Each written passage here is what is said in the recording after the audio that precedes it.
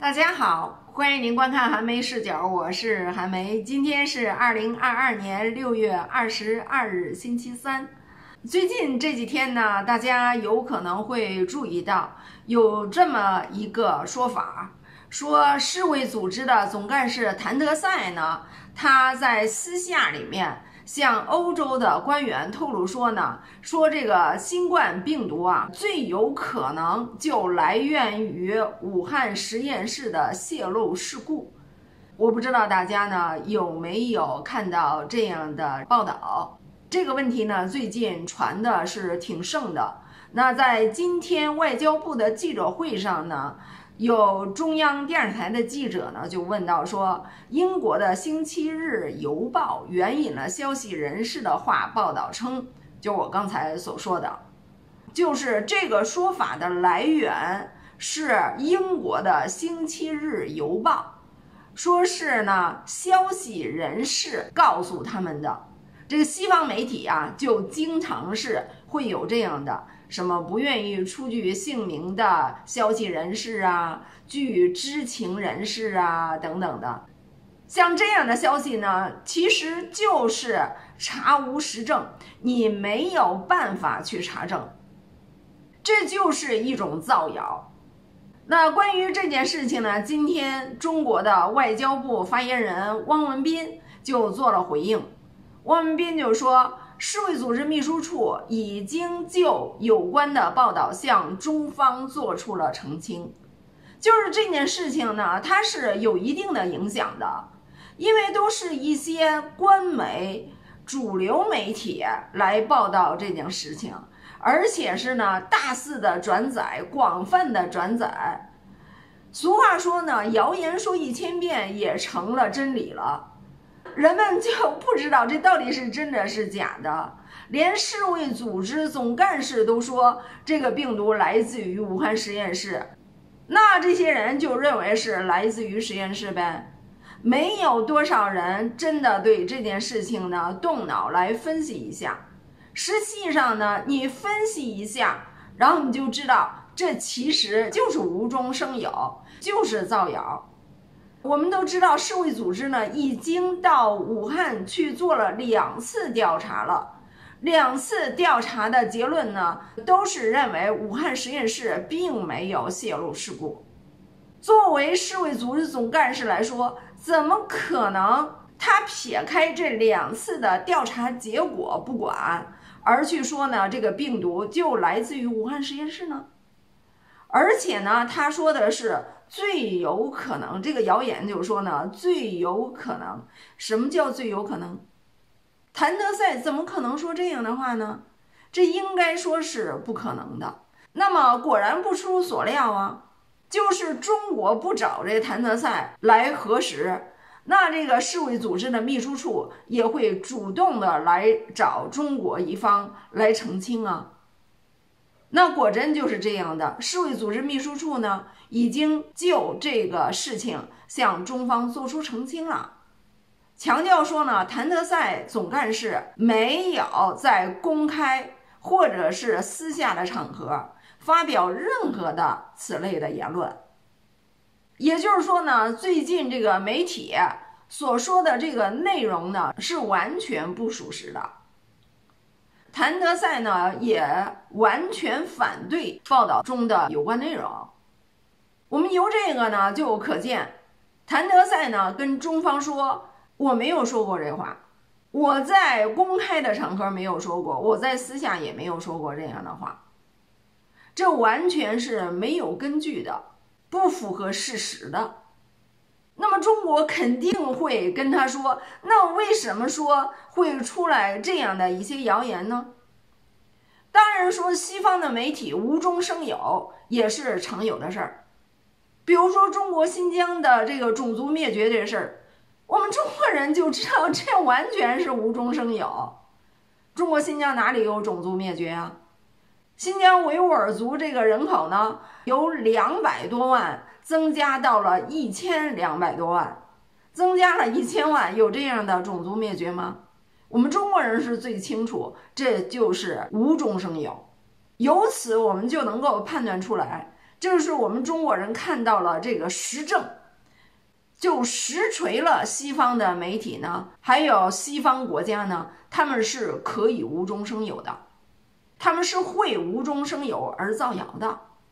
所以呢，像谭德赛的这个事儿呢，他也有可能是完全是无中生有。但是中国一定会给谭德赛提出来说，你应该是有则改之，无则加勉。你应该注意你的言行。好，这件事呢，我相信中国外交部的这个回应应该让这个谣言能够止住。说实在的，现在呢，俄罗斯已经拿到了证据，这病毒的问题，美国在乌克兰搞了那么多的实验室，美国是说不清楚的。之前美国还说在乌克兰有二十六个实验室，可是现在事实证明它有三十多个实验室。最近呢，我看到美国好像又有点要往乌克兰甩锅，说是这实验室啊做的实验啊什么的都是为了乌克兰，意思好像是呢乌克兰让他们做的那些实验似的，那是不可能的，那是不可能的。这美国呢就是利用乌克兰。肯定会给乌克兰好处。我在你这个地方搞这些见不得人的事儿，我会给你补偿的，肯定是这样的。否则的话，乌克兰能干吗？乌克兰呢，因为拿了他的好处，所以说呢，所有的事实他也不会出来澄清，他不会出来打美国的脸，应该这么说。如果不打美国脸的事儿呢，他也会出来说。但是如果说打美国的脸，和美国的说法相反，把矛头引向美国，那乌克兰就不会了。好，这是今天外交部记者会上的第一个内容。第二个内容呢，就是关于拜登要和习近平通话的这件事情。是法新社问了这个问题，说美国总统拜登称其计划与习近平主席通话。讨论取消美国对中国输美商品加征的关税，日期和时间是不是已经确定了？这个记者问中国外交部发言人汪文斌就说呢，我没有可以提供的消息，也就是说呢，关于这件事儿呢，现在还没有确定。但是呢，汪文斌就说，需要强调的是，中美两国元首保持交往十分重要。就是说，中国也是愿意和拜登通话的，但是汪文斌就说了，具体应该由双方通过外交途径共同来商定，并为此营造有利条件和氛围。这是什么意思呢？就是说，两国元首进行对话，这是非常重要的。但是呢，你进行对话谈什么？你不能说为了谈而谈，对吧？就好像这个乌克兰的总统泽连斯基一直都想和普京呢进行对话，但是呢，他私底下又不和俄罗斯方面进行沟通，也就是汪文斌所说的说，应该具体的具体谈什么，还有具体的一些事宜，应该由双方通过外交途径来共同协商。那乌克兰呢就拒绝来进行协商。那这个拜登和习近平两人通话这件事情呢，我相信双方会有协商了。比如说前一阵子杨洁篪和沙利文的他们两个那个见面，也是在进行协商。肯定是还有更低层级的一些打个电话呀、email 啊。或者是网络聊天的方式啊，等等各种方式吧，肯定是有沟通的。还有通过大使啊，肯定是有沟通。但是呢，这些沟通你得有一定的基础，你会去营造一些有利的条件和氛围。你不能说你私下里呢横目以对，私下里打的就跟那乌眼鸡似的。然后呢，两国总统要进行对话，这个就失去了基础啊。你美国这段时间以来得有半年多的时间了，就说要考虑取消美国对中国输美商品加征的关税，你取消，你倒是取消啊，但是不，我一直都不明白。根据我的观察，他的财长耶伦和他的商务部长雷蒙多，尤其是耶伦，无数次的在公开场合阐明说呢，这个关税对于目前的这个状况是非常不利的，对于这个通货膨胀伤害性是非常大的，非常需要赶紧把它取消掉。但是呢？有人就反对，那有人是谁？这有人呢，就是戴奇，戴奇很反对这事儿，认为说呢，如果说取消了这个关税，那中国就占便宜了。但是呢，关键还是要拜登拿主意嘛。关键是这个拜登，他也不是说不希望取消这关税，我相信这个道理，耶伦呢，还有雷蒙多呀，都给他讲得很清楚了。那这个利弊呢？他一定是在衡量。我想他倒不见得像戴奇那样，把中国是不是说得到好处考虑的那么重，应该也不会说就中国是绝对一点好处都不能得。但是呢，他就想说，我单方面取消这关税，中国什么都不做，那肯定不行。中国也得做点什么。他虽然说有可能也允许中国在这里面获得利益，但是中国一定也要做出相应的举动，让美国获得更大的利益。换句话说呢，我就要用这件事儿，我得从中国那儿换个什么回来。那很显然，这段时间以来，中国肯定没有对他吐口。为什么中国不吐口？因为现在来说，这个关税不关税的事儿。这是美国搬起石头砸在了自己的脚上，说对中国有没有伤害？有伤害，但是呢，它也就是呢，杀敌两百，伤己两千。现在这个效果呢，基本上是这样的，所以呢，中国也不理你，而且呢，中国对于美国在拜登上台以后不久呢，就给他了一个清单。给他布置了作业，这些作业你要去做呀。你的这些作业做了没有？你作业没做，你还想从中国这儿来讨要好处吗？我相信呢，这个事情一个是关税迟迟不取消，还有呢就是两国元首这个通话，中国没有积极的回应，没有就赶紧安排。这个呢就是。中国给他布置的作业他没做，然后第三个事儿呢，就是关于这个澳大利亚。昨天我还做了一个视频，聊了一下关于这个澳大利亚呀，他们的大学现在受不了了，中国这留学生不去，他的收入都没了。那么有八个大学的代表联合接受了《环球时报》的采访，这个采访呢，就向三个方面喊话。一个方面呢，就是澳大利亚政府；一个方面是中国政府；第三个方面呢，就是那些留学生以及他们的家长。最近彭博社呀就在中国外交部蹲点儿。彭博社又问一个问题：彭博社说，根据澳大利亚的路易研究所发布的民调，说呀，仅有约百分之十的澳大利亚的受访者相信。中国政府在国际事务中采取负责任的行动，而四年前呢，大约有百分之五十二的受访者是持这样的积极态度的。那四年前是什么时候啊？四年前是莫里森还没上台的时候。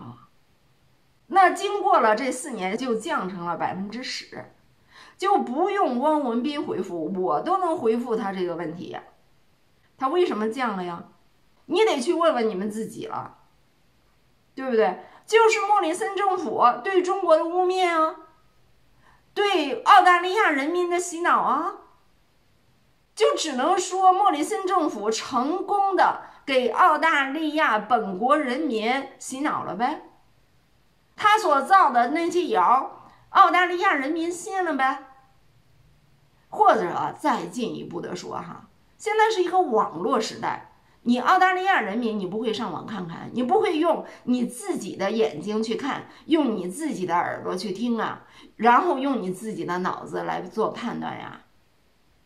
这只能是说明，第一，澳大利亚政府成功的欺骗和愚弄了他们的本国人民；第二，就是你这个人民能够被他成功的欺骗和愚弄，你就是本国人民啊，这智商也够呛，就说明这两个问题呀。汪文斌就说：“我们一般不对特定的民调结果发表评论。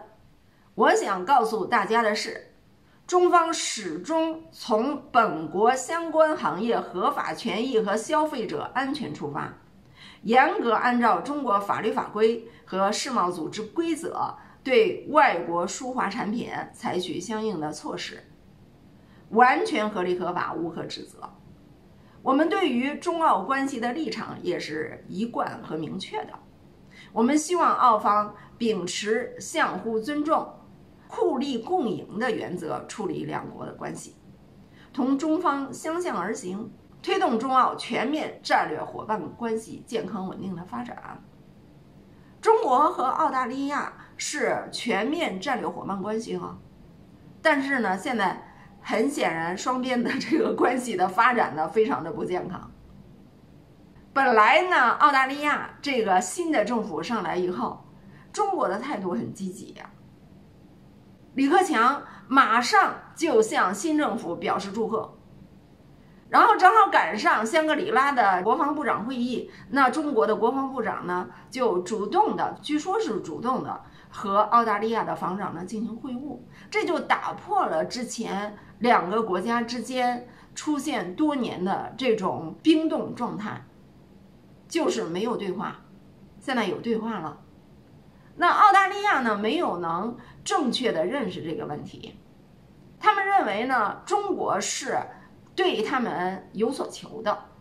那澳大利亚的新任总理呢，阿尔巴尼斯他说什么？他说，中国如果要改善和澳大利亚的之间的关系的话呢，那就必须先把那些个贸易的制裁取消掉。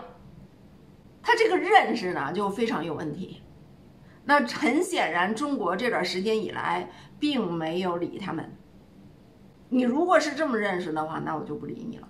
那么澳大利亚现在，我看到他们呢这个态度啊，和莫里森政府没有太大区别，没有太大区别啊，就好像是拜登上台以后一样，和之前呢没有太大区别。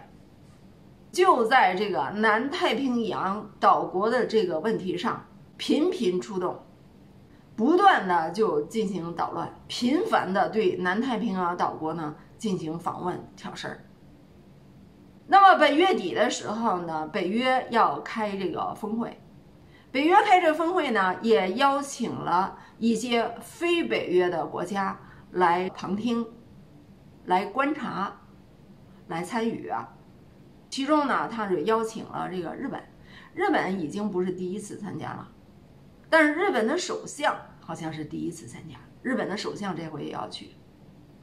那同时呢，美国又促成了一个新的四方机制，以前的时候不是有美日澳印这四国的一个机制吗？现在印度呢，貌似啊，对于这个集团的活动呢，参与不是那么的积极。应该是因为怕俄罗斯啊心里不舒服，肯定不是因为中国了，因为俄罗斯心里不舒服，所以呢不是那么的积极。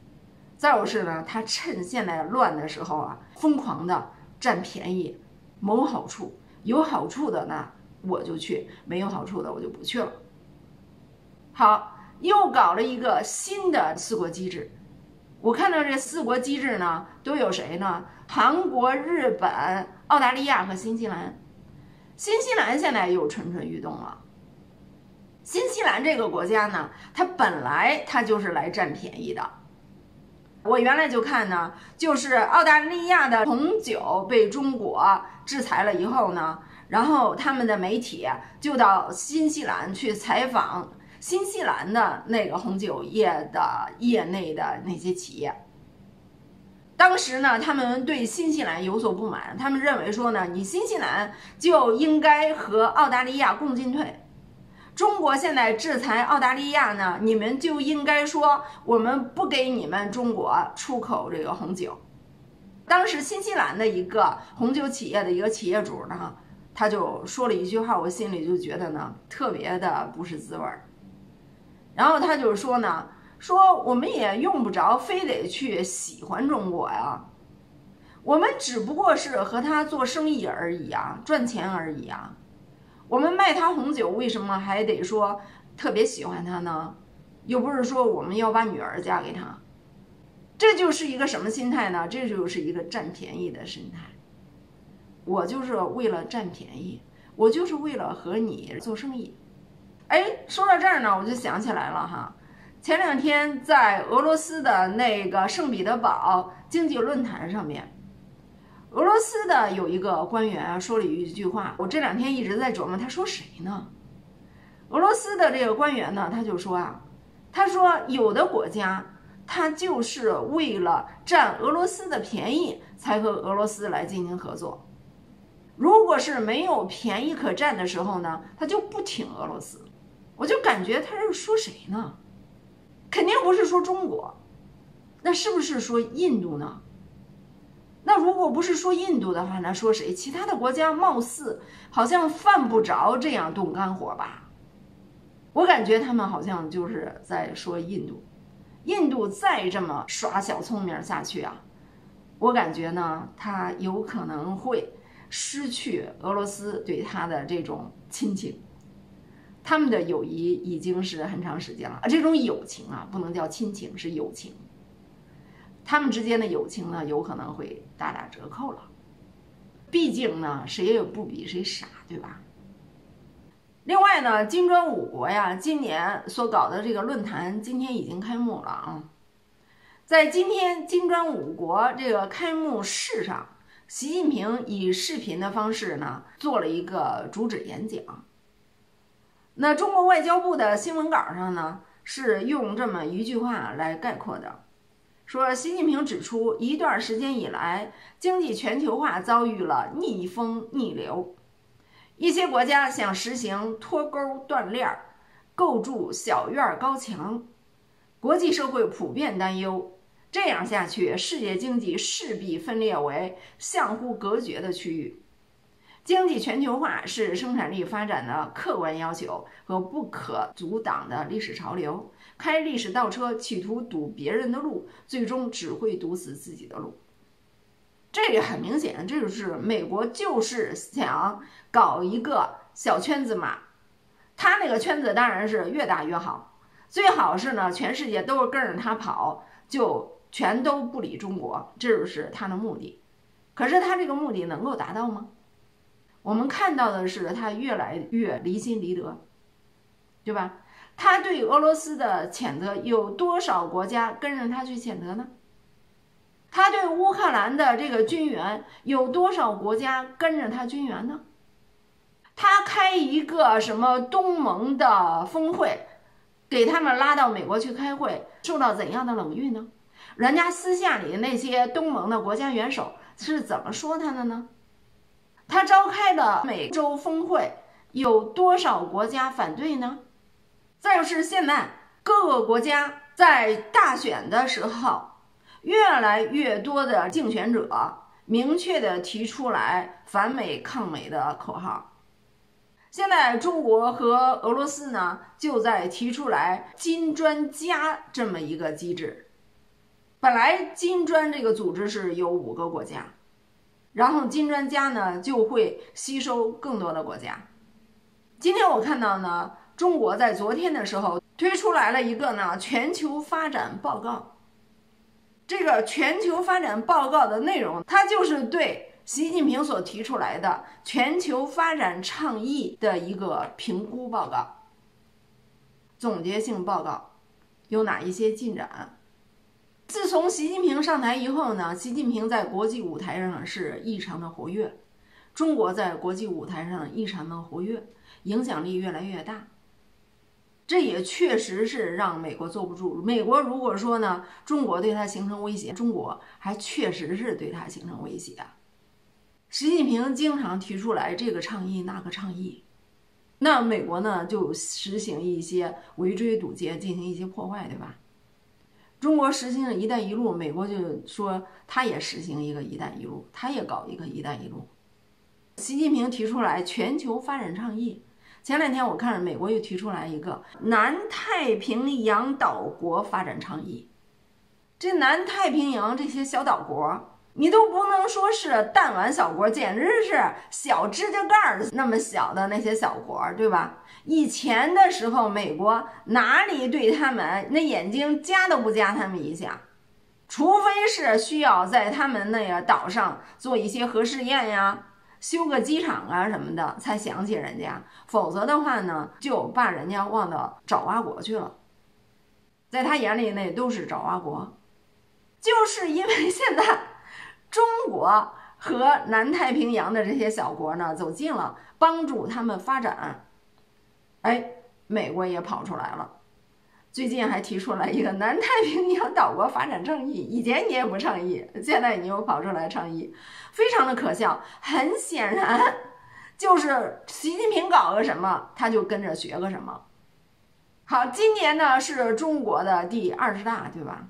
二十大呢就是该换届了呀。现在美国呢就一天到晚的这些舆论哈，那些独运轮们呢也跟着就是附和呀。不遗余力的来进行造谣啊、污蔑呀、煽动啊、蛊惑呀，哎，我就觉得这个呢就特别可笑，就是它是不是谣言哈，咱们暂且不说，就特别可笑。它可笑在什么地方呢？他们不是说中国是专制国家吗？习近平说要修宪的时候，他不是说习近平就想终身制，就成了皇帝了，习近平就是个皇帝。这样来鼓动中国人民来仇恨习近平吗？对吧？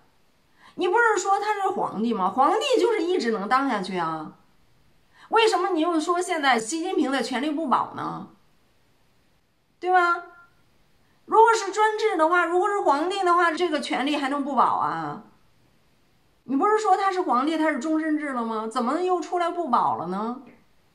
这不是自相矛盾吗？是不是？好，时间又不早了，我这个视频就跟您说到这儿吧，感谢您的收看，下次再见。